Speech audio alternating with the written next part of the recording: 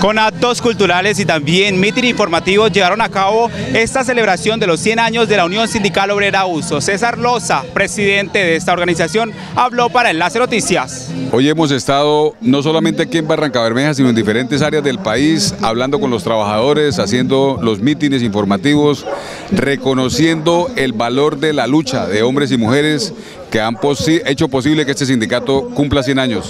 Estas actividades se realizaron en todo el país, en especial en Barranca Bermeja, donde los trabajadores estuvieron acompañando estas eh, jornadas culturales y también informativas. Escuchemos a algunos de los trabajadores. Oh, la Unión Sindical Obrera eh, ha sido el, como la base, el talante de la, de la clase obrera.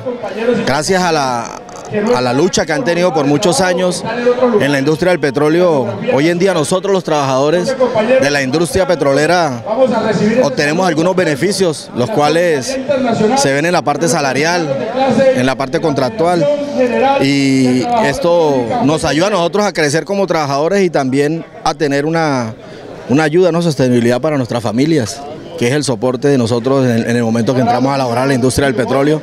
Las mujeres también recalcaron los 100 años que por eh, décadas han luchado aquí en Barranca Bermeja y en toda la zona del país.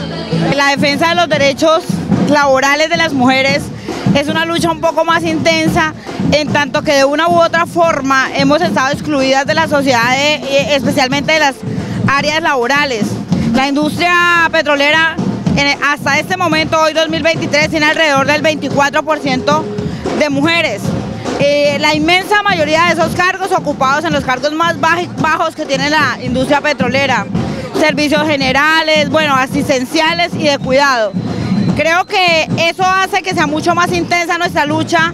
La jornada inició a las 5 de la mañana. Se prevé que en horas de la tarde, también a las 5 de la tarde, comience la peña cultural por parte de la Unión Sindical Obrera Uso. Esto es un informe de Carlos Cuadrado con la cámara de Libardo Rueda para Enlace Noticias.